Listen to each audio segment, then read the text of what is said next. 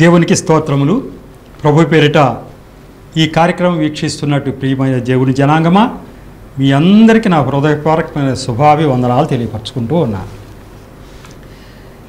మరి నా పేరు రాజారావు ఇవాంజలిస్ట్. మీకు సుపరిచితుడినే సంవత్సరం పైగా మీ ముందుకు వస్తున్నాను. నాకు అరవై ఐదు ఎపిసోడ్లు అయిన తర్వాత ఇది అరవై ఆరో ఎపిసోడ్లోకి వచ్చాం. ఇప్పుడు నా యొక్క కళల్లో నాకు వచ్చిన దర్శనాల గురించి మీకు ఎక్స్ప్లెయిన్ చేస్తూ ఉన్నా. ఇది నాకు ముప్పై ఐదో దర్శనం నాకు మొత్తం ఎనభై మూడు దర్శనాలు వచ్చినాయి. ఒక బుక్ ప్రింట్ చేయించి చాలామందికి పంచా. అయినా అందరికీ పంచలేం కదా? మరి మీడియా ద్వారా కూడా దేవుడు తెలియపరచమని నాకు ఆదేశించడం జరిగింది. ఈ ముప్పై ఐదో దర్శనం దర్శనం చిన్నదే కానీ నా యొక్క సాక్ష్యం ఏంటి అంటే నేను ఏ యొక్క దర్శనాల ద్వారా అయితే దేవుడు ఏ రకంగా నన్ను జ్ఞానాభివృద్ధి కలగజేశాడు. దాన్నంతా చెప్తారు అంగరించి. జ్ఞానం పొందింది ఎలా అనేదే చెప్తారు. కాబట్టి ఈ యొక్క దర్శనం ఆధారం చేసుకుని వాక్యంతో కూడిన సాక్ష్యం అని అనేక ఎపిసోడ్లు చెప్పడానికి అవసరమైనటువంటి ఆ మ్యాటర్ నేను సిద్ధపడ్డాను.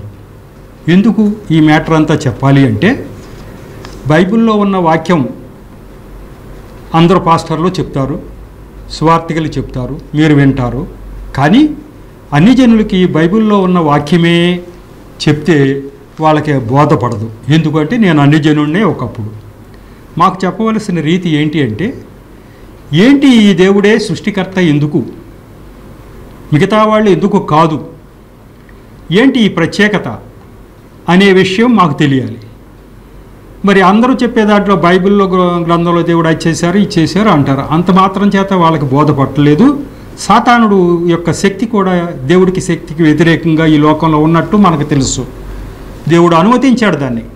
ఆ శక్తి అలా ఉండగానే మనము నిజమైన దేవుడు ఎవరో గ్రహించడానికి మనకు ఒక రకమైనటువంటి ఆ యొక్క పరిశోధన ఆ మన మీద ఒక ఆ యొక్క పరిశీలన దేవుడు అట్టిపెట్టాడు. ఊరికి అయాచితంగా ఏది పడితే అది దేవుడు ఇచ్చేడు.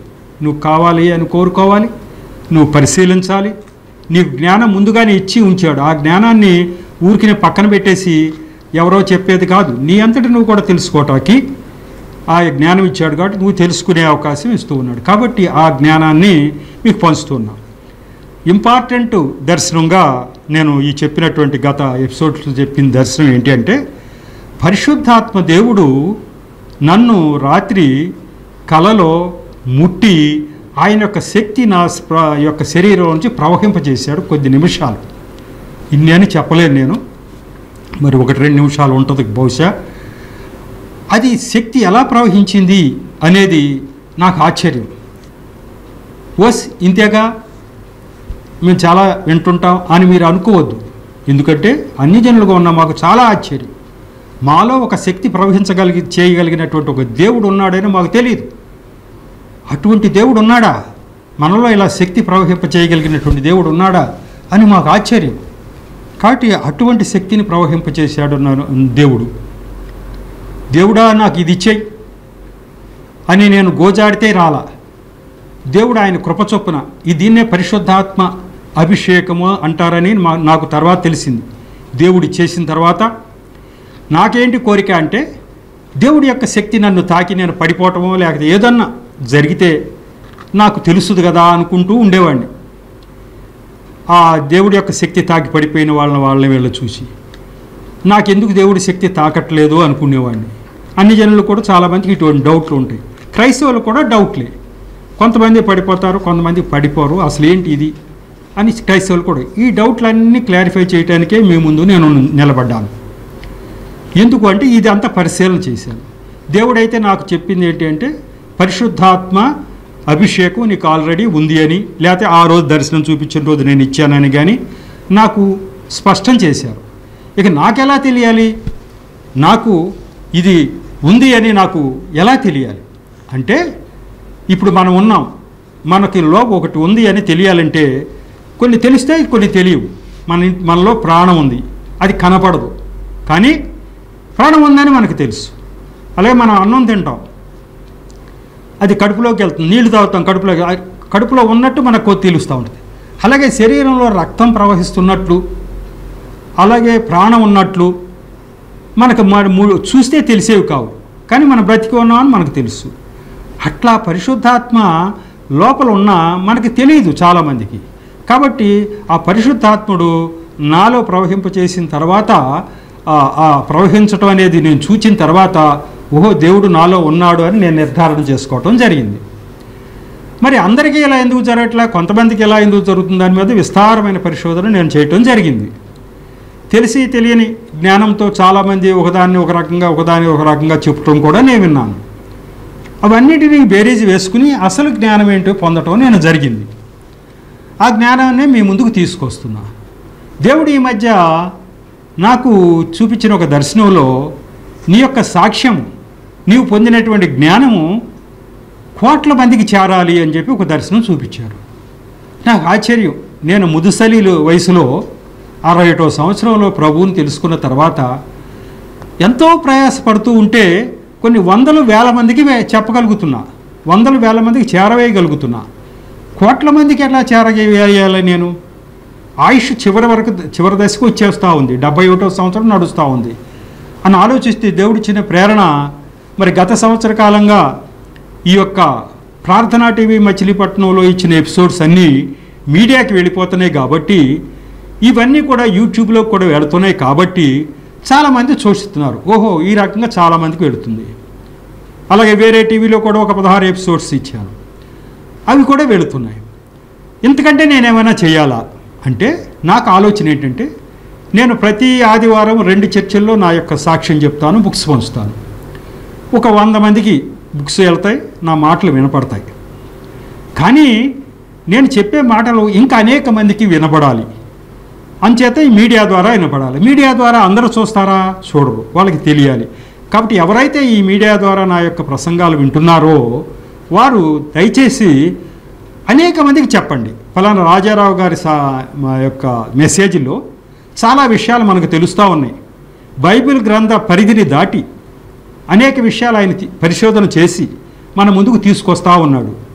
అని మీరు కొంతమందికి తెలియపరిస్తే బాగుంటుంది. ఒకటి తర్వాత ఈరోజు దేవుడు ఆయన యొక్క అత్యంత కృప చొప్పున ఎన్నో వనరులను మనకు సమకూర్చినట్లుగా ఈ యొక్క మరి ఆధునిక టెక్నాలజీని మనకి ఇచ్చారు మేము చిన్నప్పుడు మాకు ఇవన్నీ తెలియవు. మా చిన్నప్పుడు కరెంటే మాకు తెలియదు మన గుడ్డి దీపాల దగ్గర చదువుకున్నాం మేము. మేము పల్లెటూరులో పుట్టాం. కరెంటే మాకు తెలియదు అటువంటిది ఎన్ని డివైసెస్ ఈ టీవీలు ఇవన్నీ కూడా వచ్చేసి అలాగే సెల్ ఫోన్లు ఇవన్నీ వచ్చేసిన తర్వాత మీడియా ద్వారా విపరీతంగా మరి మనం అనుకున్న యొక్క భావాలు ఇతరులకు చెప్పగలుగుతా ఉన్నాం. ఒకప్పుడు లేవు. కాబట్టి ఈ భావాలు నేను చెప్తున్నాను అంటే మీరు టీవీ ద్వారా చూస్తున్నవారు పిల్లలు మరి ముఖ్యంగా ఈ యొక్క సెల్ ఫోన్ టెక్నాలజీ ఉన్నవాళ్ళు సెల్ ఫోన్లో రికార్డ్ చేసుకుంటే కూడా బాగుంటుంది. నేను అనేక విషయాలు చెప్తే అప్పటికప్పుడు మీకు మైండ్లోకి వచ్చేవి బుక్స్ అన్నీ మీ అందరి చేతుల్లోకి పంచడానికి నా వల్ల కూడా కాదు. కొన్ని వేల మందికే పంచగలుగుతా కాబట్టి మీరు సెల్ ఫోన్లో రికార్డ్ చేసుకోవటం కూడా మంచిది. ఆ తర్వాత మీరు సావధానంగా వినటానికి వీలవుతుంది. మీకు అనుకూలమైన వాళ్ళు ఎవరెవరికి మీరు చెప్పదలుచుకున్నారు వాళ్ళకి మీరు పంపించుకోవటానికి వీలదు ఈ సెల్ ఫోన్ టెక్నాలజీ ఉపయోగపడతా ఉంది. ఈ టెక్నాలజీలు అన్నీ కూడా ఇచ్చింది దేవుడే. ఈ జ్ఞానాన్ని ప్రసాదించి మనిషికి సౌకర్యవంతమైనటువంటి టెక్నాలజీని అంత రేపుడు దేవుడు రూపొందించి మనకిచ్చాడు. నా చిన్నప్పటికి ఇప్పటికి నేను బేరీజ్ వేసుకుంటే నా చిన్నప్పుడు మాకు ఏ యొక్క సౌకర్యాలు అందుబాటులో లేకుండా ఉండగా ఈ రోజున మీరు ఉన్నటువంటి పిల్లలకి ఎన్నో సౌకర్యాలు అందుబాటులోకి వచ్చినాయి. అయితే కొంతమంది దాన్ని మిస్యూజ్ చేసుకునే విషయాలు ఉన్నాయి. అలా మిస్యూజ్ చేసుకోకూడదు. ఉన్నటువంటి విషయాన్ని ఆ దేవుడి సౌకర్యాలు కలగజేశాడు కానీ దాన్ని మిస్యూజ్ చేసుకోకూడదు. అంతవరకే మనం చేయాలి కాబట్టి ఇచ్చినటువంటి సౌకర్యాలని మనం పక్కన పెట్టకుండా దీనికి ప్ర ముఖ్యంగా సువార్తకి సువార్తకి ఒకప్పుడు సైకిళ్ళ మీద కాలినడకన అనేక ఊళ్ళకి ఈ యొక్క సువార్థికులు తిరుగుతూ ఉండేవాళ్ళు. ఎంతమందికి చెప్పగలిగేవాళ్ళు? ఇవాళ టీవీలు యూట్యూబ్లు సెల్ ఫోన్లు వచ్చిన తర్వాత సువార్త ఎంత దూరం వెళ్ళిపోతూ ఉంది? సువార్త ప్రకటించడానికి ఇది ఎంత గొప్ప ఆయుధంగా ఉపయోగపడింది? కాబట్టి దేవుడు ఇచ్చినటువంటి ఈ సౌకర్యాన్ని వినియోగించుకోండి. చాలామందికి నేను చెప్పేది ఏంటి అంటే ఇప్పటివరకు నాకు ఆలోచన రాలా. దేవుడు అంటాడు కోట్ల మందికి చేరాలి అంటున్నారంటే బహుశా ఇది ఈ యొక్క మీడియా ద్వారానే వెళ్ళటం వీలవుతుంది. కాబట్టి మీరందరూ విన్నవాళ్ళంతా కూడా ముఖ్యంగా చదువుకునే పిల్లలకి ఈ టెక్నాలజీ తెలుసు కాబట్టి సెల్ ఫోన్లో వీలైతే మరి రికార్డ్ చేసుకోవటం చాలా మంచిది. మంచిది కాబట్టి మరి ఆ- ఆ యొక్క సదుపాయాన్ని వినియోగించుకోగలిగిన వాళ్ళు వినియోగించుకోండి. వినియోగించుకోలేకపోతే దాన్ని మనం చేసేది ఏం లేదు. మరి వాళ్ళు మామూలుగా టీవీ ప్రసారాలు చూస్తాం ఇటువంటి ద్వారానే కాబట్టి ఎవరైనా అవసరం ఉన్నవాళ్ళు వినియోగించుకోవాలి అనే విషయం నాకు దేవుడు స్ఫురణకి ఇస్తున్నాడు కాబట్టి నువ్వు ముందుకు తీసుకొస్తూ ఉన్నా. ఈ పరిశుద్ధాత్మ తాకటం మరి ఈ పరిశుద్ధాత్మ అందరికీ తాకాలా? మరి తాకక్కర్లేదా? పరిశుద్ధాత్ముడు అందరిలో లేడా? మనం బాప్తిజం పొందిన రోజున పరిశుద్ధాత్మ అభిషేకం కూడా మనకు అయిపోలేదా? ఇంకా ఉందా? అనే విషయాలన్నిటి మీద అనేకమైనటువంటి మరి గ్రంథాలు నేను పరిశీలించాను. పరిశోధించాను. ఇవన్నీ యువతరానికి చెప్పాలని దేవుడు చెప్తా ఉన్నాడు. ముఖ్యంగా యువతరానికి. ఈ యువతరం అనేక మందికి చెప్పవలసి ఉంటుంది తర్వాత తరాల వారికి. అందరూ బైబిల్లో వాక్యాలు నా చెప్పేసి ముందుకు వెళ్ళిపోతూ ఉంటే యువతరానికి ఈ జ్ఞానం ఇవ్వకపోతే ఈ జ్ఞానమే మరి వాళ్ళకి అనేక మంది అన్ని జనులను వెలిగించడానికి ఉపయోగపడే జ్ఞానం వాళ్ళకి కొరతగానే ఉంటుంది ఎప్పటికీ. కాబట్టి ఆ కొరత తీర్చడానికే దేవుడు నన్ను ఏర్పరచుకున్నాడని నేను భావిస్తూ ఉన్నాను ఈ యొక్క ఈ యొక్క పరిశుద్ధాత్ముడు చేసే పనులేంటి? ఈ యొక్క పరిశుద్ధాత్ముడు ఈ లోకమంతా నిండి ఉన్నాడని మనకు ఎట్లా తెలుస్తూ ఉంది అంటే బైబిల్ గ్రంథం నిండా పరిశుద్ధాత్మ పనులే ఉన్నాయి. బైబిల్ గ్రంథంలో చెప్పబడిన ప్రతి మాట కూడా పరిశుద్ధాత్మ పనులే ఉన్నాయి. ఇంక ఇతర ఏ గ్రంథాల్లో కూడా మనుషులు రాశారు తప్ప దేవుడు చెప్పి దేవుడు రాయించిన మాటలు ఎక్కడ నాకు కనపడలా. కాబట్టి దేవుడు పరిశుద్ధాత్మ అదేంటండి? పరిశుద్ధాత్ముడు ఈ భూమి మీదకి యేసుప్రభు వారు వెళ్ళిపోయిన తర్వాత మీ కొరకు ఒక ఆదరణకర్తను పంపిస్తున్నాను. ఒకవేళ నేను వెళ్ళకపోతే ఆయన రాడు అని చెప్పారు కదా. ఆయన వెళ్ళిన తర్వాత పెంతికోస్తు రోజున యాభై దినాల తర్వాత పరిశుద్ధాత్ముడు అప్పుడు కదా దిగాడు. ఈ భూమి అంతటిని విస్తరించి ఉన్నది అప్పటి నుంచి కదా అని మీరు అనుకోవచ్చు. చాలామంది అనుకోవచ్చు. కాదు. పరిశుద్ధాత్ముడు ఎప్పుడూ ఉన్నాడు తండ్రి దగ్గర. ఆయన ఎప్పుడు అవసరమైతే అప్పుడు పంపించాడు. ఏ దేవదూతల రూ దేవత దేవదూతల రూపంలో మనుషుల రూపంలో అనేక చోట్ల దేవదూతలు ఆయన పరిశుద్ధాత్ముడు భూమి మీదకి పంపించాడు మళ్ళీ వెనక్కి వెళ్తూ ఉండేవాడు. పర్యవేక్షణ అంతా అక్కడ జరుగుతూనే ఉండేది. కాబట్టి పరిశుద్ధాత్మ కుమ్మరింపు యేసు ప్రభు వారు వెళ్ళిన తర్వాత యాభై దినాల తర్వాత వచ్చిన తర్వాత విస్తారంగా కుమ్మరింపు ఉంది. అంత క్రితం కూడా ఉంది పరిశుద్ధాత్మ. ప్రతి అడుగు ప్రతి చోట కూడా పరిశుద్ధాత్మ ద్వారానే కార్యాలు జరిగినాయి. దేవుడు త్రియేక దేవుడు. ఆయన మనసులో ఏదైతే తలుస్తాడో దాన్ని తన కుమారుడైన యేసుప్రభు వారు దాని నోటి ద్వారా పలుకుతారు. పరిశుద్ధాత్మ దేవుడు దాన్ని చేస్తారు. దేవుడు ఒక ఒక వ్యక్తికి అతనికి స్వస్థత ఇవ్వాలని తలుచుకుంటే ఆయన తలుస్తాడు. యేసు ప్రభు వారు పలుకుతారు. ఆ యొక్క పరిశుద్ధాత్ముడు కార్యం చేస్తాడు. అట్లా జరుగుతూ వస్తూ ఉంది ఇది. కాబట్టి ఈ యొక్క దేవుడు ఆ సృష్టి నిర్మాణం దగ్గర నుంచి కూడా ఆయన తెలిసిన తలంపల్లా కూడా వాక్కు ద్వారా అది యేసుప్రభు వారు బయట పలకటం ద్వారా ఆ యొక్క పరిశుద్ధాత్ముడు దాన్ని అంత క్రియరూపం చేయటం ద్వారా సృష్టి నిర్మాణం జరిగింది.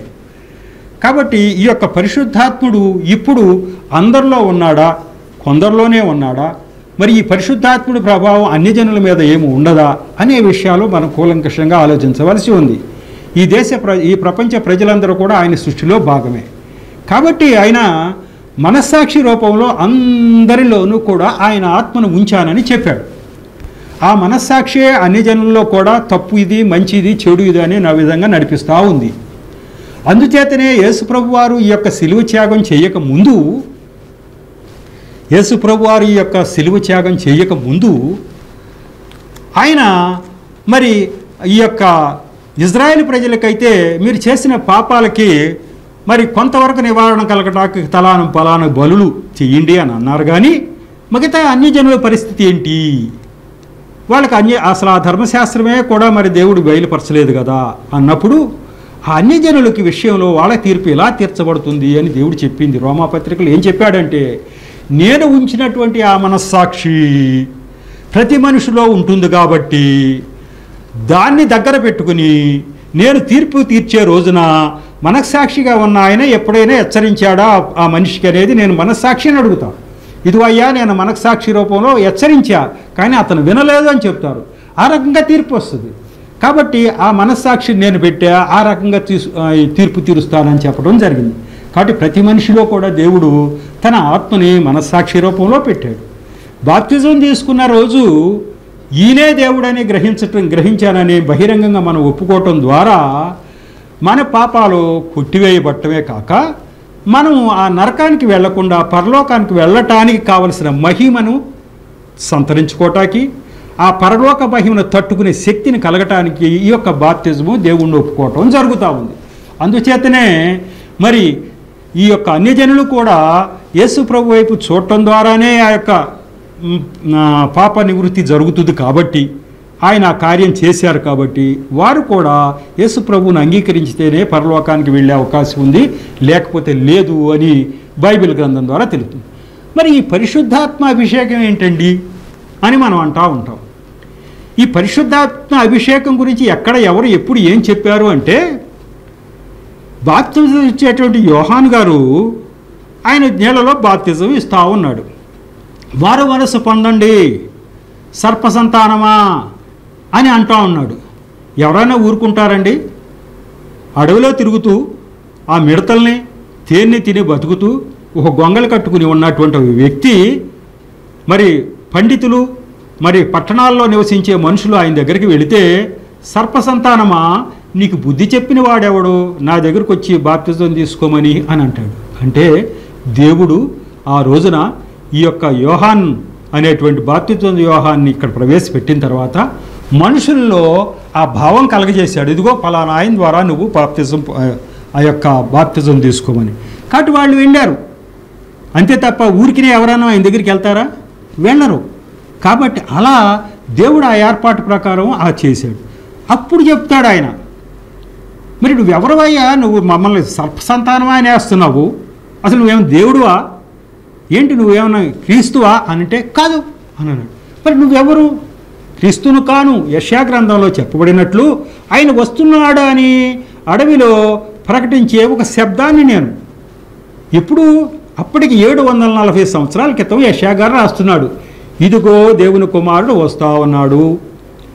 ఆయన ఇట్లా కన్యక గర్భంలో రాబో రాబోతున్నాడు. ఫలానా ఊరిలో జన్మిస్తాడు. ఇట్లాంటి మేకా గ్రంథంలో అది అట్లా చెప్పుకుంటూ వస్తూ ఆయన వస్తున్నాడు అని ఆయన మార్గాల సరళం చేయమని చెప్పటానికి అడవిలో ఒక శబ్దం కూడా పంపిస్తున్నాడు అన్నాడు ఒక మనిషిని. ఆ మనిషి చెప్తాడు ఇదిగో బుద్ధి తెచ్చుకోండి సరైన బుద్ధి తెచ్చుకోండి అని చెప్తా ఉంటాడు. అది వినేటట్టు కూడా ఆయనే చేస్తాడు. అంటే మార్గాలు సరళం చేస్తూ ఉన్నాడు. మనుషులకి ఆ మాటలు వినేటట్టు కూడా చేస్తున్నాడు. కాబట్టి లేకపోతే ఎవరంటాడు? ఆయన చెప్తుంటే ఈయన వినాల్సిన పని లేదు. ఆ మార్గాలు సరళం చేసుకుంటూ దేవుడు వచ్చాడు. అప్పుడు దేవుడు చెప్తా ఉంటే విన్నారు. అయితే అధిక తెలివి కలిగిన వాడు. ఎన్ని కార్యాలు వాళ్ళు చూస్తున్నా కూడా ఆయన చేతిలో ఎన్ని అద్భుత కార్యాలు జరుగుతున్నా కూడా ఆయన అనుమానిస్తూనే ఆ పరిశీలైన వాళ్ళు ఆ అసూయ చేత ఆయన చుట్టూ తిరుగుతూనే ఉన్నా ఆయన అనుమానిస్తూనే ఉన్నారు. కానీ సహజంగా అయితే దేవుడు ప్రజలందరిలో కూడా ఆ భావం కలగజేశాడు. ఈయన ఎవరో దేవునికి సంబంధించిన మనిషే అనే భావం కలగజేశాడు. యేసు ప్రభు వచ్చినప్పుడు కూడా ఈయన దేవుని కుమారుడని అనేక మందికి బోధ అర్థమైంది. కొంతమంది మరి పరిచయలు ఈయన తప్పు పట్టుకోవాలని చూసి ఆ ఆ యొక్క జ్ఞానం అనేటువంటి దీన్ని అడ్డం పెట్టుకుని మేము జ్ఞానవంతులము పండితులము మేమెందుకు దీన్ని ఒప్పుకోవాలని అన్నారే తప్ప అనేక మంది వందల వేల మంది ఆయన చెప్పిన మాటలు అర్థం చేసుకున్నారు. కాబట్టి దేవుడు ఈ రకంగా మరి ఆయన ఏర్పాటు చేసి ఈ పరిశుద్ధాత్మ అనే దాని గురించి ఇప్పుడు పాయింట్ ఏంటి అంటే ఆ యోహాన్ గారు చెప్పాడు. ఇదిగో పరిశుద్ధాత్మలో బాప్తిస్త ఇచ్చేటువంటి పని కూడా ఒకటి ఉంది దేవుడు మారు మనసు గురించి నీళ్ళతో బాప్తిజం ఇవ్వ ఇవ్వబ్బాయి అన్నాడు. మీ అందరికీ ఇస్తున్నా అన్నాడు. మరి దేవుడు ఎవరంటే నా వెనక వస్తున్నాడు ఒక ఆయన అన్నాడు. ఆయన ఆయనతో నేను అసలు సరిపోలను. ఆయన చెప్పులు వారు ఇప్పటానికి కూడా నేను పనికిరాను అన్నాడు. అంపో ఆయన వచ్చాడు ఆయన ఉన్నాడు అన్నాడు. ఆయన మరి ఎవరు ఆయన ఆయన బాప్తిజం ఇస్తాడు అని అంటే ఆయన నాకు నన్ను పంపిన ఆయన నాకేం చెప్పాడు అంటే నువ్వు బాప్తిజం ఇస్తూ ఉండగా ఎవరి మీదకి పరిశుద్ధాత్మ రూపంలో దేవుడు పావన రూపంలో దిగుతాడో ఆయనే దేవుని కుమారుడు.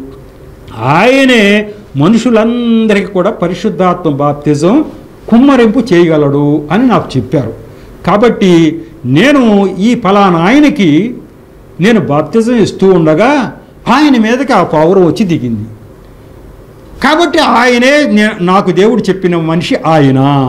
కాబట్టి ఆయన అగ్నిలోను ఆత్మలోను బాప్తిజం ఇస్తాడు కాబట్టి అది కూడా మీరు తీసుకోవలసి ఉంటుంది అని చెప్పడం జరిగింది. కాబట్టి ఆ యొక్క పరిశుద్ధాత్మ బాప్తిజం ఉందా? లేదా అంటే ఉంది. దేవుడు మనస్సాక్షి రూపంలో మనం మనలో ఆత్మను ఉంచాడు. ఓకే.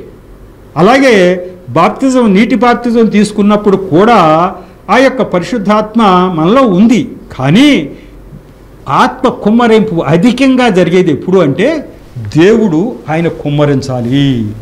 కాబట్టి ఆ యొక్క పరిశుద్ధాత్మకు అభిషేకం కూడా ఉండాలి.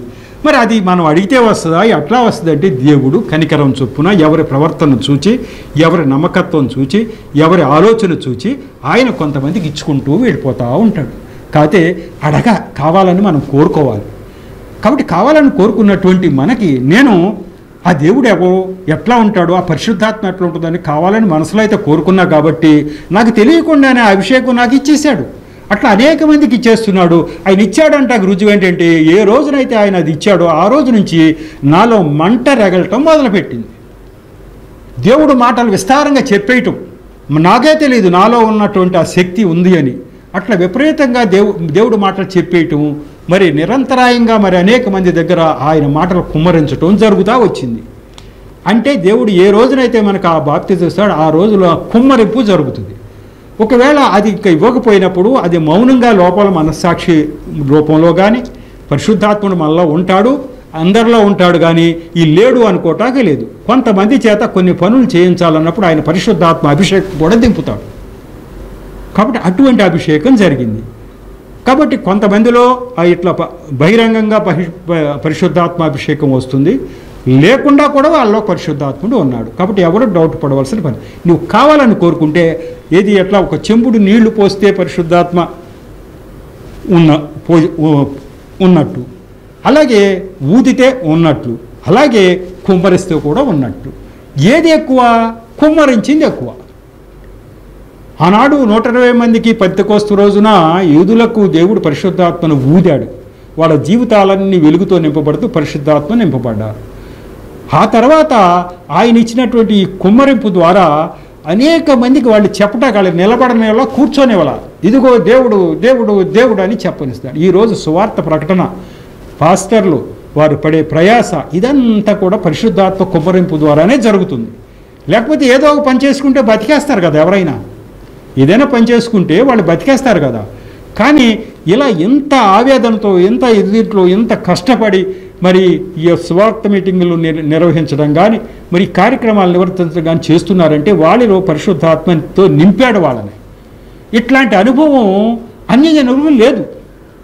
అన్ని జనులు ఏదో దేవుడు అనుకుంటారు వెళ్తారో అలా నమ్మకం చెప్తూ వస్తారు.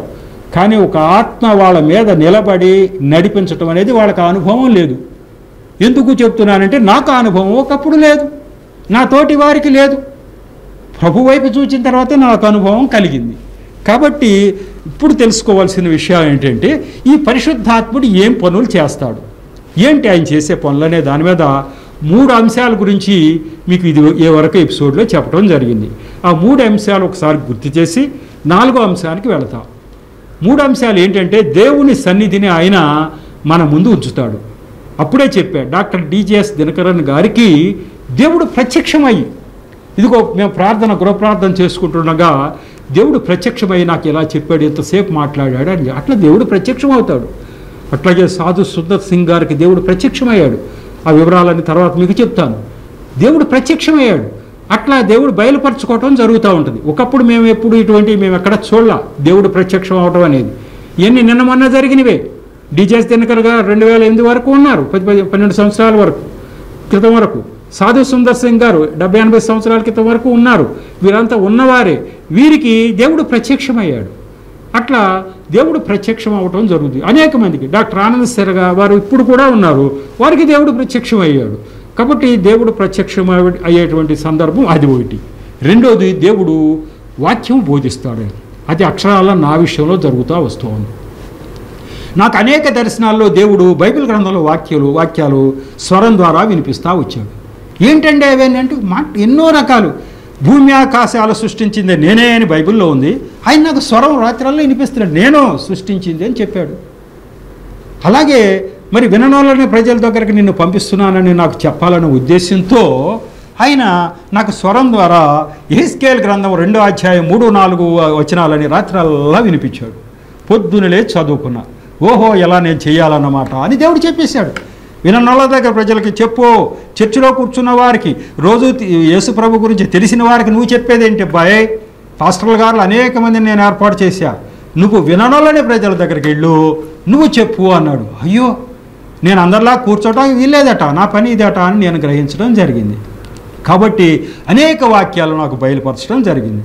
ఆ వాక్యాల ద్వారా నాకు దేవుడు ఇలా చెయ్యి అని చెప్పడం జరిగింది. రెండో పాయింట్ అయిపోయింది. దేవుడు ప్రత్యక్షం అవటం ఇతరులు ఎక్కడ ఇక్కడ ఎక్కడ మనం చూడలేము. అలాగే దేవుడు వాక్యాలు చెప్పడం దేవుడు నడిపించడం నువ్వు ఇలా చేయాలా చెప్పడం ఇంకో చోట మనం చూడలేము.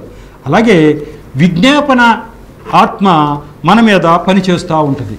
ఏంటి విజ్ఞాపన అనే దాని మీద మీకు చెప్పా ఇదివరకే ఒక ఆయన నాకు ఈ వరాలన్నీ కావాలి పరిశుద్ధాత్మ వరాలు తొమ్మిది వరాలు కావాలని నిత్యము గోజాడుతూ ఉంటే దేవుడు ఆయనకి ఇవ్వటానికి సందేహిస్తూ ఉన్నాడు. ఏ వర పడితే ఆ అందరికి ఇవ్వడు. ఆయన ఇష్టం వచ్చినప్పుడు ఆయన నమ్మకం కలగాలి.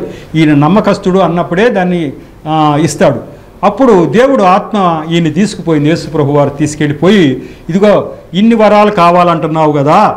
మరి ఏంటి అని ఆలోచిస్తూ ఉంటే ఆయన వెనక పరిశుద్ధాత్ముడు నిలబడి కోత విస్తారంగా ఉంది పనివారు తక్కువగా ఉన్నారు. నీవిచ్చే ఆయన అడిగినవి. అని చెప్పి వెనక ఒక అరగంట సేపు ఒక ఆయన గోజాడుతూ ఉండటం ఈయన చూచాడు. అప్పుడు దేవుడు ఇవ్వటం జరిగింది. ఇది ఈ యొక్క సంఘటన ద్వారా దేవుడు ఇప్పుడు మనం అడిగినవన్నీ దేవుడు వెనక ముందు ఆలోచిస్తున్న సమయంలో పరిశుద్ధాత్మ దేవుడు మన తరపున మూలు మూలుగులతో విజ్ఞాపన చేస్తాడు అని చెప్పింది. అది వాస్తవమే. ఆయన మన తరపున రికమెండ్ చేసి మనకి ఇప్పిస్తూ ఉంటాడు. కాబట్టి అలా వచ్చింది అని జరిగింది.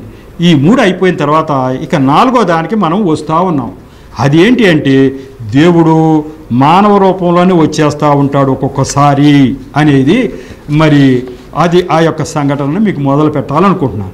ఆయన మానవ రూపంలోనే వచ్చేసి నీతో మానవ రూపంలో వచ్చి మాట్లాడి చేస్తాడు.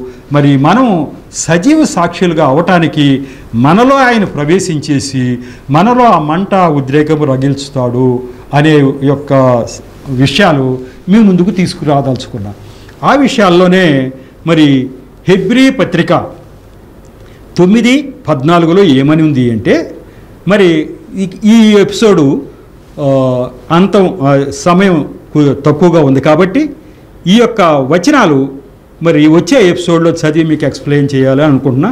లైట్గా మీకు ముందు ఉంచుతున్న హెబ్రి పత్రికలో తొమ్మిదో అధ్యాయం పద్నాలుగో వచనంలో ఏం చెప్పబడింది అంటే నిత్యుడకు ఆత్మ ద్వారా తన్ను తాను దేవునికి నిర్దోషినిగా అర్పించుకున్న క్రీస్తు యొక్క రక్తము నిర్జీవ క్రియలను విడిచి జీవం గల దేవుని సేవించుటకు మీ మనస్సాక్షిని ఎంతో ఎక్కువగా శుద్ధి చేయును అని చెప్పాడు. మన మనస్సాక్షిని శుద్ధి చేస్తాడు. మనస్సాక్షిలో శుద్ధి చేయటానికి ఏది అవసరం అంటే ఆయన యేసు ప్రభు కార్చిన రక్తము ద్వారా దేవుడు మనలో ఉన్న చెడు మాలిన్యం తీసేసి ఎప్పటికప్పుడు శుద్ధి చేస్తూ ఉంటాడట. ఆ శుద్ధి చేయటం అనే కార్యక్రమం నాలో జరిగింది. అది ఎలా జరిగింది అనేది మీకు ఎక్స్ప్లెయిన్ చేస్తా. అనేక మందిలో జరిగింది. అనేక మంది దేవుడికి సమర్పించుకున్న బిడ్డల్లో దేవుడు వాళ్ళ మనస్సాక్షిని శుద్ధి చేసిన తర్వాత వాళ్ళు బలపడి వాళ్ళు దేవుని యొక్క వాక్యాన్ని ప్రకటించడం జరిగింది. కాబట్టి ఆ విషయాలకు వెళ్ళే ముందు మరి ఇంకా వివరణగా వివరణాత్మగా వెళుతున్నాం కాబట్టి ఈ యొక్క విషయాలు ఎంత వివరణాత్మకంగా మీరు చెప్పాలా అంటే దేవుడు ఆయన యొక్క ప్రేరణ ఇచ్చేది ఏంటంటే ఇంత వివరణాత్మకంగా నువ్వు చెప్పి తీరాలి అంటున్నాడు దేవుడు. అందుచేతనే ఈ యొక్క పరిశుద్ధాత్మ అనే సబ్జెక్ట్ మీదే చాలా ఎపిసోడ్లు వెళ్ళేంత మ్యాటరు దేవుడు నాకు అందేటట్టుగా చేశాడు. కాబట్టి అవి అంతా మీ ముందు ఉంచమంటున్నాడు. కాబట్టి అది ఉంచుతాను. మీరు ఉపయోగించుకోగలిగినంత మేరకు మీరు ఉపయోగించుకోండి. ఇది దేవుని ఆజ్ఞ. నా అంతటా నేను చేస్తున్నది కాదు. కాబట్టి ఈ యొక్క మాటల ద్వారా మీరు బలపడండి. ఈ యొక్క మాటల్ని సాక్ష్యాన్ని దేవుడు దీవించునుగాక మరి చిన్న ప్రార్థన చేసి ఈ అరవై ఆరో ఎపిసోడ్ని ముగిస్తాను. కృపకల దేవ మహాపరిశుద్ధుడ ప్రేమగల తండ్రి ప్రభు మీకు వందనాలు స్తోత్రాలు చెల్లించుకుంటున్నాను తండ్రి. ఈరోజు అరవై ఆరో ఎపిసోడ్లో తండ్రి అంశము మరి ప్రభువ ఈ పరిశుద్ధాత్మ అనేటువంటి అంశంలో అనేక విషయాలు ప్రభువ మరి మీరు నా నోటి ద్వారా బిడ్డలకు తెలియపరిచారు. ఆ విషయాలు గ్రహించే శక్తిని వారికి దయచేశారు. అందుకు మీకు స్తోత్రాలు తెలియదు. మీ చిత్తమైన రీతిలో ప్రభు ఈ మాటలు ఎవరికి ఎలా చేరాలో చేర్చండి. అలాగే ఎవరి హృదయాల్లో అవి నాటుకోవాలో ఆ విధంగా నాటేట్టుగా చేయండి. మీ చిత్త ప్రకారమే ఈ యొక్క సువార్త ప్రకటనని మరి దిగ్విజయంగా నడిపించమని ప్రార్థిస్తున్నా తండ్రి. వింటున్న బిడ్డలందరినీ ఆశీర్వదించండి తండ్రి. శక్తితో నింపండి తండ్రి. అలాగే నన్నును నా పరిచర్యను ఇక ముందు కూడా ఆశీర్వదించండి తండ్రి. నిరంతరము ప్రభు మీ బిడ్డలు అయిన వారము. ప్రభు ఫలించడం ద్వారా మీ నామం మహింపరచబడుతుంది కాబట్టి తండ్రి అనేక మంది అన్యజనులలో మేము తలగా ఉండులాగున మరి మీ యొక్క కృపచేత మమ్మల్ని ఆశీర్వదించమని మహిమ ఘనత మీరే పొందుకోమని మా ప్రభువును రక్షకుడైన యేసునామంలో పరంతటిని ప్రార్థించి వేడుకుంటున్నా తండ్రి. ఆమెన్. మీ అందరికీ నా యొక్క హృదయపూర్వకమైన వందనాలు. మరొకసారి తెలియప